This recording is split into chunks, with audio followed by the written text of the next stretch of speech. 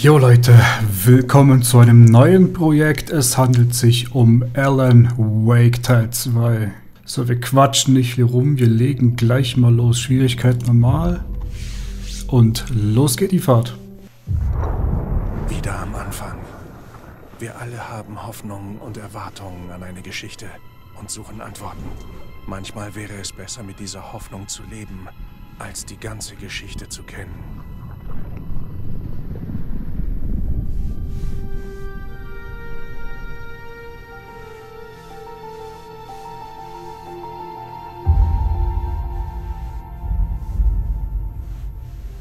Es gibt nur Opfer und Monster in einer Horrorgeschichte.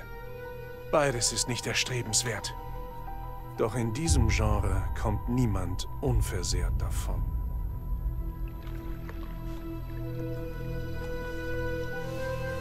Ich habe mir die Geschichte anders vorgestellt.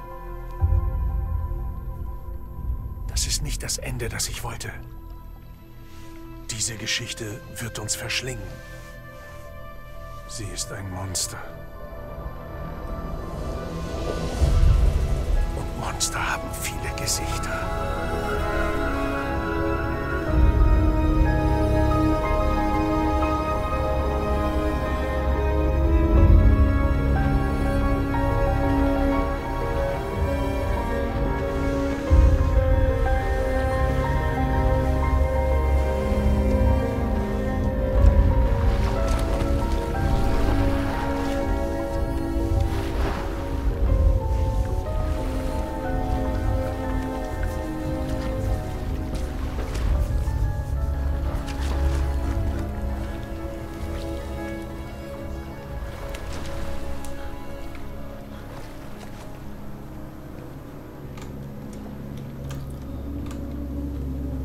So Leute, und damit willkommen zu Alan Wake 2. Es geht endlich los, also ich kann es kaum erwarten. Ich habe den ganzen Spaß schon angespielt, aber natürlich nicht sehr weit. So, wir spielen einen... Bitte, Hilfe. Hörst du mich? Komm, wir sollten gehen. Schon weg. Okay. Na ja, gut, ne? Wie würdet ihr reagieren, wenn ein halbnackter Mann bei Nacht im Wald rumrennt und auf euch zugeht?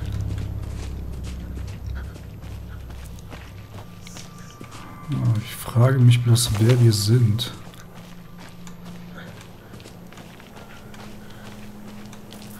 Das ist nämlich, glaube ich, nicht Alan Wake.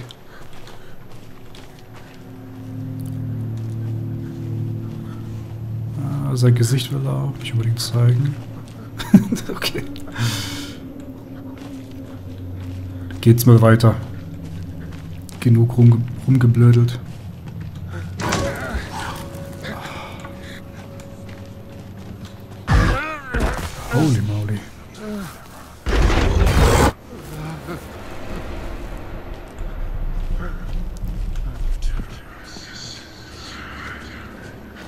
Geht los hat mich schon erschrocken.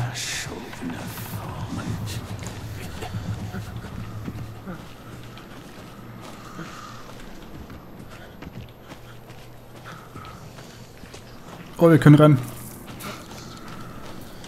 Na endlich.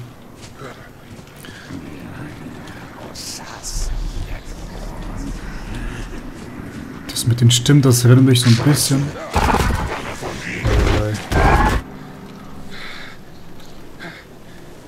Ich wollte gerade sagen, das erinnert mich so ein bisschen an Senua's Sacrifice.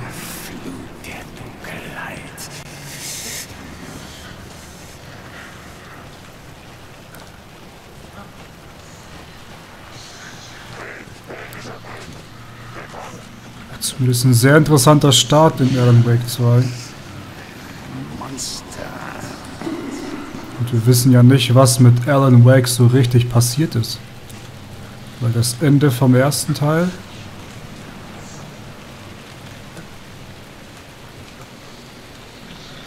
Ja, am Ende vom ersten Teil ist nicht so richtig klar gewesen, was mit Alan passiert ist. Nicht durch. Ja. Tja. Wer hat denn schon Lust, über glitschige Bäume zu klettern?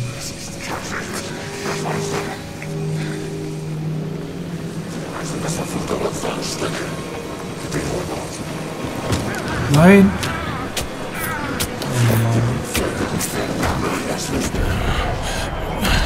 Ja Gott. Hemming. Was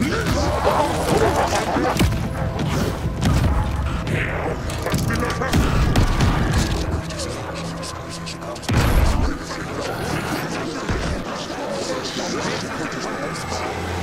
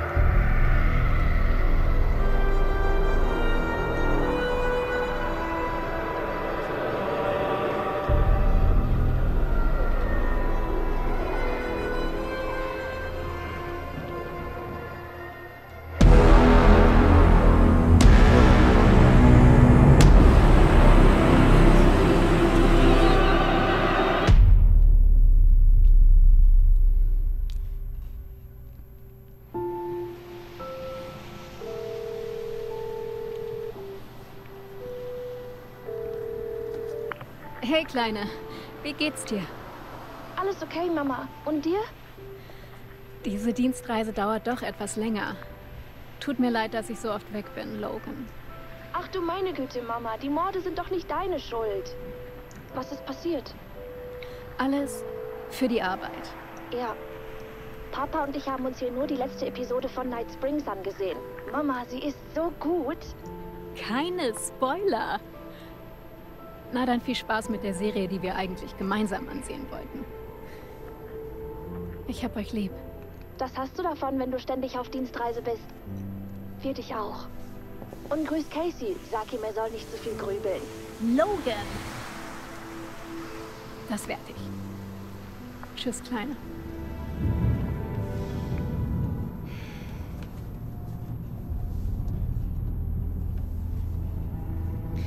Logan meint, lass den Kopf nicht hängen. Freches Kind. Ich frage mich, woher sie das hat.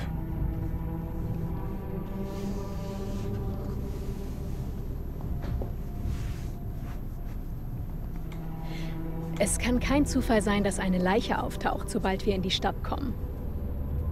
Ich habe das Gefühl, der Killer will uns was sagen.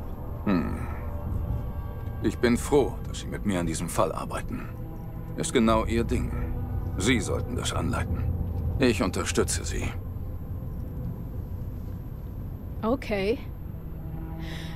Irgendwelche Tipps?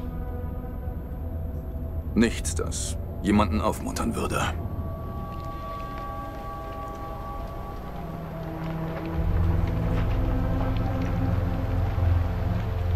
Da wären wir. Cauldron Lake. Gehen wir an die Arbeit. Hm.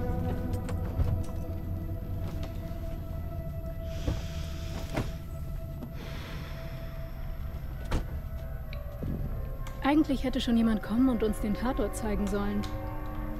Das Auto ist da, aber wo ist der Sheriff? Von einem Bären? Ich sehe mir die Karte an. Tja, Leute, ne, willkommen in Alan Wake 2. Und Sollten wir uns merken, bevor uns die Bäume verschlingen. ich glaube, das war doch Agent Nightingale, weil er hat Alan Sollten wir Wake ansehen. Alan Wake aber mit Haufen Spitznamen betitelt. Alles Namen von anderen Schriftstellern, sowas wie Hemingway. Und was mir auch gefällt, die Natur. Die haben aus dem ersten Teil die Natur nicht vernachlässigt, sondern das mit ins Spiel einfließen lassen. Wir haben eine Karte. Ähm okay.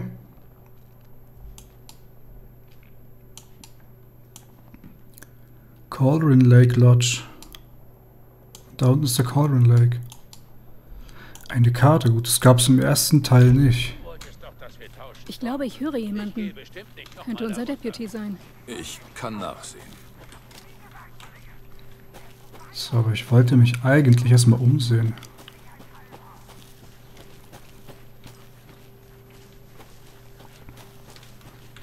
Erst einmal umsehen. Was haben wir denn hier? Das Federal Bureau of Control? Das ist ja mal was Neues. Toxisches vulkanisches Gas. Hm. Das FBC ist eine ominöse Abteilung, die nur für seltsame Fälle auftaucht. Was ist so ungewöhnlich an vulkanischem Gas? Keine Ahnung. Versperrt. Sie wollen wirklich nicht, dass hier jemand reinkommt. No, aber was haben wir denn hier? Ich habe es im Corner weg geschafft. Passt aus. Okay. Also wer es durchlesen möchte, der kann es gerne tun, indem er pausiert.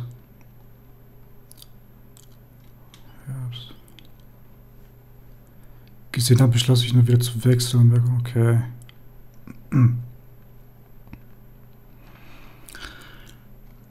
Alles klar. Haben wir hier irgendwas Besonderes? Nee, nee, nee. Der verrückte Kerl, das glaube ich war Nightingale. Also bin ich mir eigentlich sicher. Weil Nightingale hat Alan Wake immer Hemingway und was weiß ich nicht alles genannt.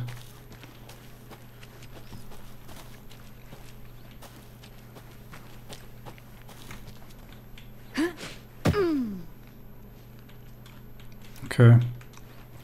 Das war aber eine ganz kurze Passage. Was haben wir denn hier? Da oben haben wir ein Haus.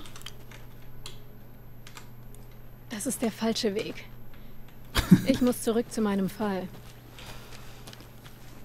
Wir lassen kurz was trinken gehen. Na gut, konzentrieren wir uns wieder auf unsere Aufgabe als FBI-Agent. Hey, hier drüben.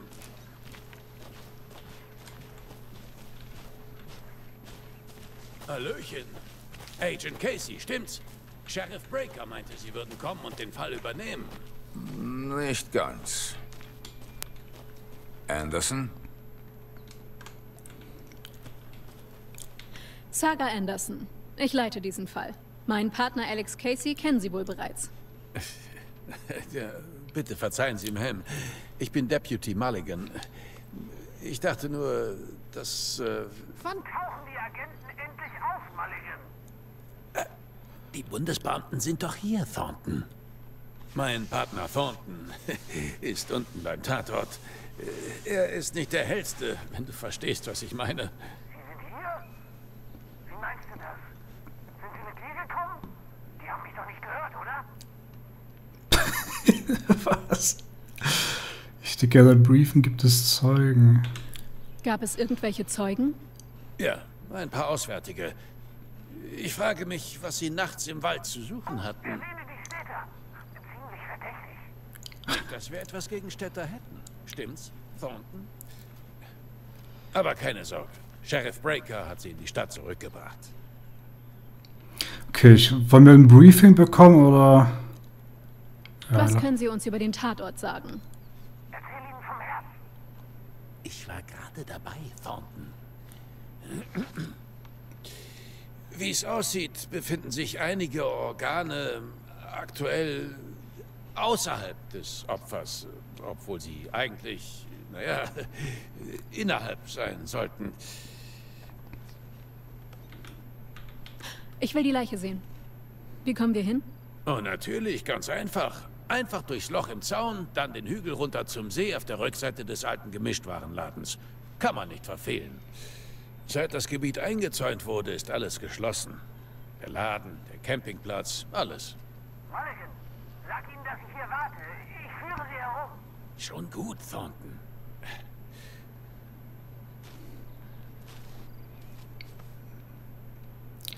Okay, Mulligan Thornton waren doch eigentlich keine Hohlköpfe wie die Bevor jetzt. wir am Tatort ankommen, haben wir Zeit für die bisherigen Fakten. Ich möchte auf keinen Fall etwas übersehen. Dank Fall. Tafel im Gedankenraum. Okay. Der Gedankenraum. Meine Version der Gedächtnispalasttechnik. Um die Hinweise zu sichten und den Fall zu lösen. Ich baue den Gedankenraum für jeden Fall auf und nutze jede Außenstelle als Modell in meinem Kopf. Gedankenpalast. Die Fakten stehen auf der Tafel. Alles, was wir über die bisherigen Morde wissen. Na gut, was wissen wir über die bisherigen Morde? Enter fortfahren. Benutzt, um dich zu bewegen. Rein und rauszoomen. Jetzt können wir.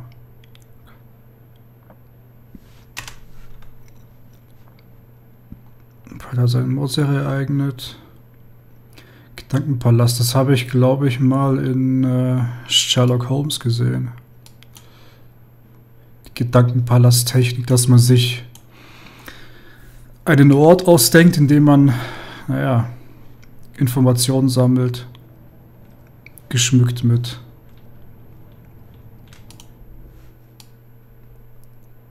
geschmückten Gegenständen und etc. Überlegte Karte. Cauldron Lake hier. Okay, ich glaube, wir haben genug davon. Wir verlassen Sie sind schon fleißig bei der Arbeit, Anderson. Kurz vor dem Durchbruch. Wir fangen gerade erst an. Gehen wir den Hügel runter zum Tatort. Alles klar. Verdammte Natur. Mein Schädel brummt. Zu viel Frischluft.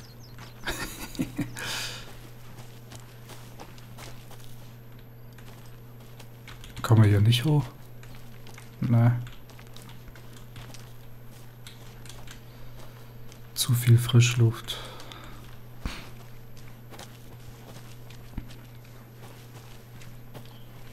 Wir kommen doch irgendwie hier Bin hoch. gleich wieder zurück. Okay. Okay, wir haben nichts, womit wir das Ding öffnen können. Interessant. Hey, Casey. Sie überlassen mir die Führung. Warum jetzt? Sie sind ein besserer Detektiv als ich, Anderson. Sie haben Fälle geknackt, die unlösbar für uns waren. Ich möchte Sie nicht runterziehen. Haben Sie vor, in Pension zu gehen? Sie wissen doch, was mit Cops bei Ihrem letzten Fall passiert. Sehr witzig, Anderson.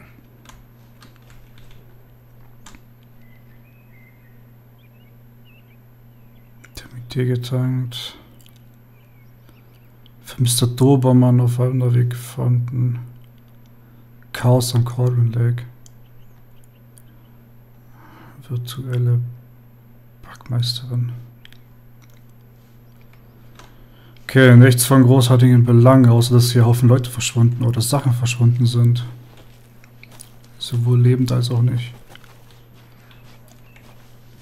Und unsere Moment mal, Anderson. Starting Fire ist forbidden. Also Campen hier ist nicht erwünscht in der Natur. Keine Treppe. Springen ist doch kein Problem. So alt.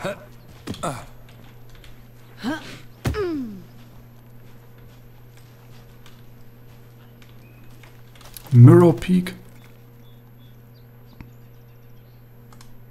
Verzeichnet was, okay. Wir haben ja ein paar Orte aus dem ersten Teil.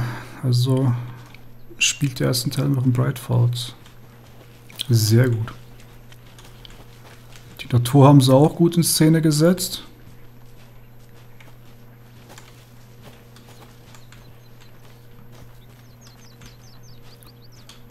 Und- wir spielen einen fähigen FBI-Agenten.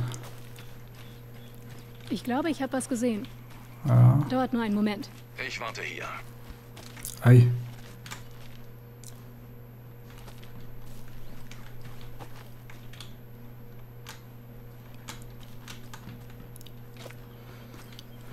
Stimmt, wir leben ja jetzt schon in der Zukunft. Ich vergaß, dass Alan Wake 2010 stattfand. So, ihr kennt mich. Wir gehen immer eine kleine Extrameile, um zu gucken, ob wir irgendwas Besonderes finden. Motor Force.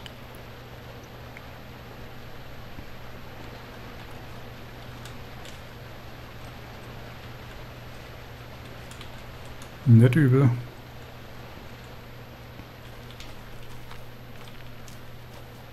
Ist das eine Kinder-Lunchbox?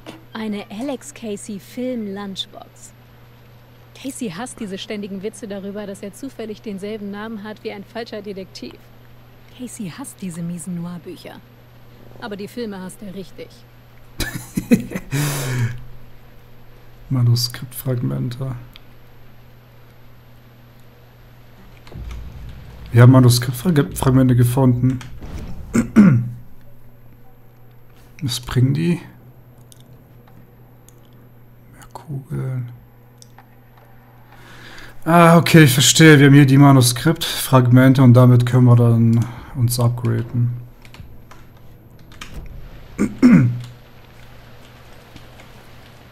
Und Alex Casey ist aus den Büchern von Alan Wake.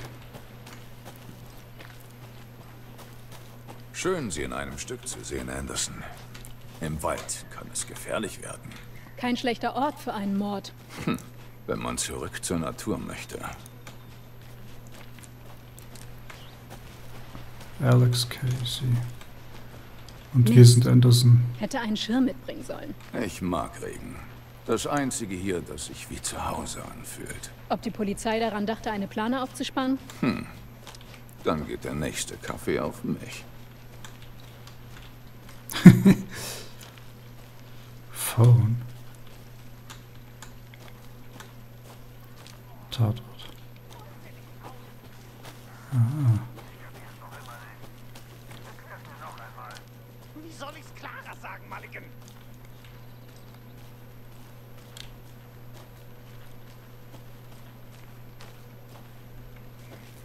Gut, dann gehen wir mal zum Tatort. Ich werde mich umsehen. Bis später. Lassen Sie sich Zeit. Deputy Thornton, nehme ich an. Das bin ich, zu Ihren Diensten und bereit, den Fall zu lösen. Die Leiche liegt hinter dem Laden. Kommen Sie, ich äh, zeige sie Ihnen. Hinter dem Laden. Sie sind also vom FBI. Das ist cool. Sie machen Jagd auf Serienmörder und liefern sich Schießereien mit dem Mord. Okay. Die gibt es wirklich? Sucht ihr noch Leute? Aktivitäten. Uns die Leiche Ja, da es gehört nichts von uns.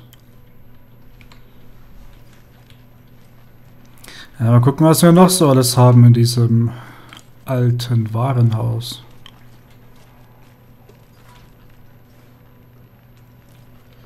Bright Falls Studios.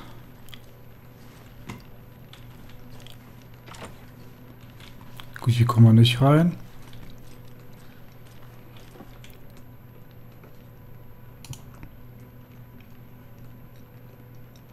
Sammeln muss. Okay. Was auch immer wir gerade eingesammelt haben. Also der erste Eindruck ist schon mal kein schlechter.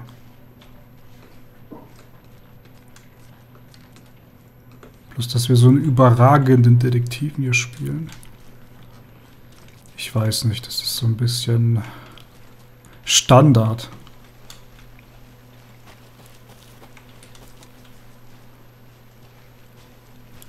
Aber na gut, mal sehen, was die Geschichte hier uns noch bringen wird. Und ich weiß auch, dass wir Alan Wake spielen werden. Habe ich zumindest mal gesehen. Ich renne hier mal noch mit der Taschenlampe rum. ah, Ich würde so gern abseits der Wege. Ja. ja gut. Ich würde sagen, wir sehen uns hier noch einmal kurz um und dann gehen wir zurück. Uh.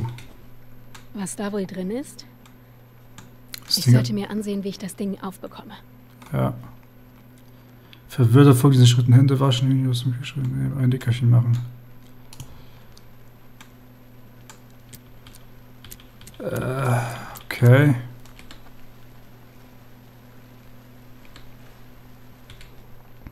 Moment mal. Und.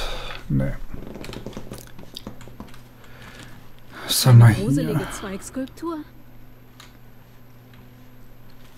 Zweigskulptur. Da haben wir noch eine hängen. Okay, was soll man. Okay. Ich weiß ich sage ganz schön oft, okay, das ist einfach nur.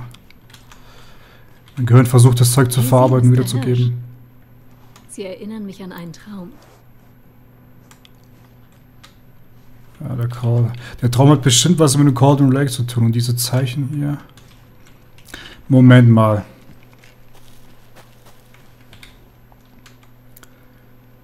So, diesen Schritten folgen. Hände waschen, Hühnchen aus dem Kühlschrank den Nickerchen machen. Hände waschen. Wo haben wir hier...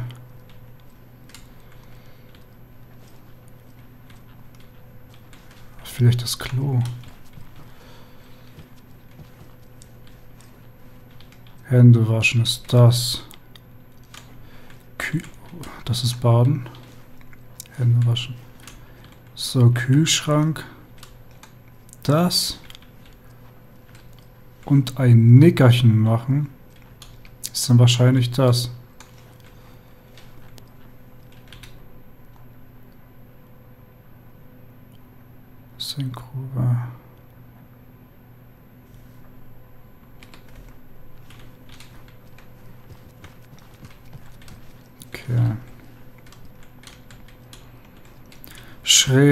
Dann haben wir vertikal und Play-Buttons links und rechts.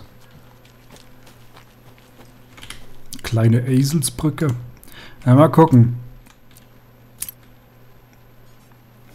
Jetzt auf einmal.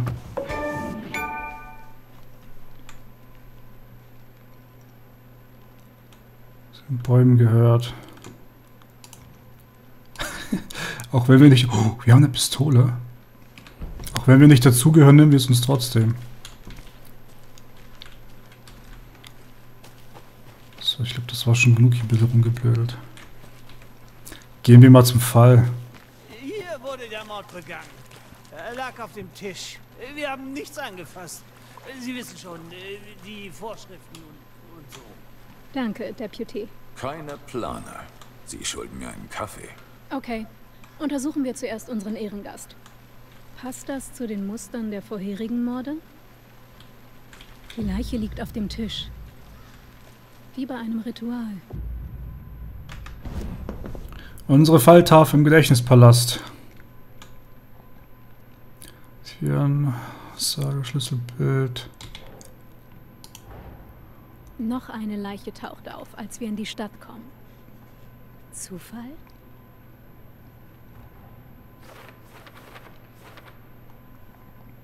Enter fortfahren. Übereinstimmung mit dem Mord. Steuerung Ziele.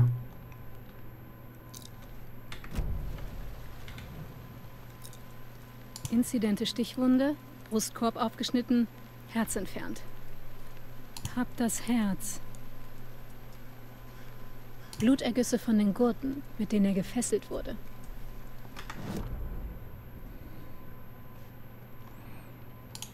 Okay.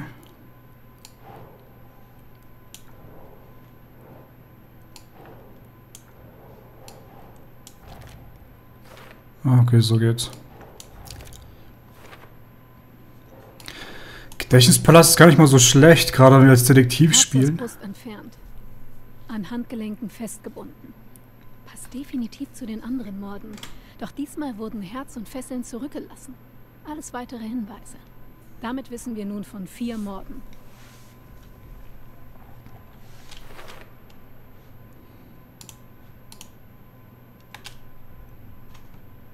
Aktuelle Ziele ansehen, Lindorf, Control, Trickst. Drei Ziele, okay. Ja. Wer ist unser Opfer? Wer tötete ihn?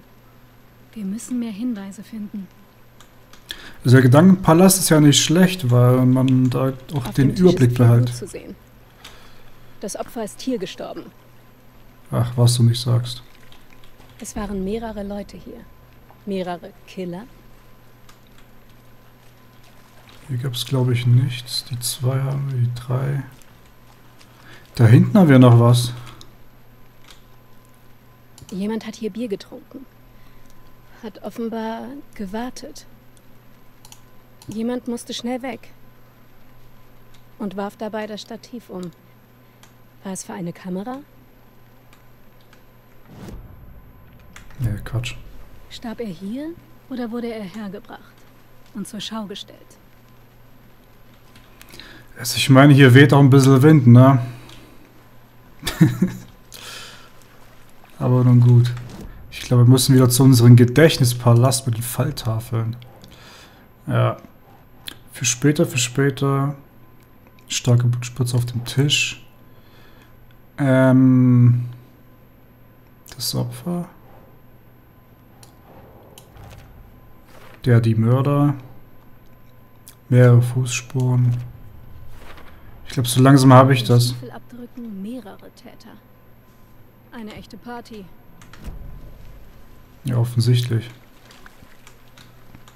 Offensichtlich, Captain Anderson. Ich frage mich, ob die was mit den Anderson-Brüdern zu tun hat. Ist das Opfer bekannt? Na klar. Sein Name ist Nightingale. Er war beim FBI und kam vor 13 Jahren hierher. Seitdem habe ich nichts von ihm gehört. Naja, bis jetzt. Bis jetzt. Nightingale. Robert Nightingale? Äh, Ja, ich glaube, Sie kannten ihn. Waffenbrüder. Äh, und Schwestern. Das ist doch Nightingale. In denen du mit Leuten redest und deine Umgebung erforschst. Oh, das ist ja cool. Okay, ich nehme es zurück. Also das Ding gefällt mir doch. das Ding gefällt mir doch ganz gut. Das ist im Allgemeinen. Sie kannten also unser Opfer? Ich habe ihn zuerst nicht erkannt.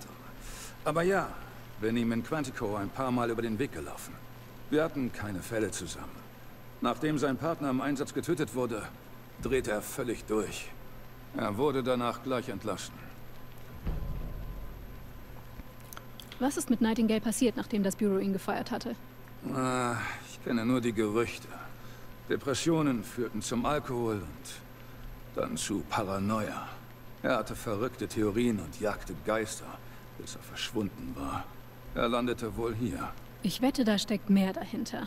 aber kein Happy End. Nightingale ist vor 13 Jahren verschwunden. Seit 2010. Genau wie bei allen anderen Opfern. Passt auf jeden Fall zum Muster. Ich frage mich, was in diesem Jahr passiert ist. Etwas, das die Stadt lieber vergessen möchte.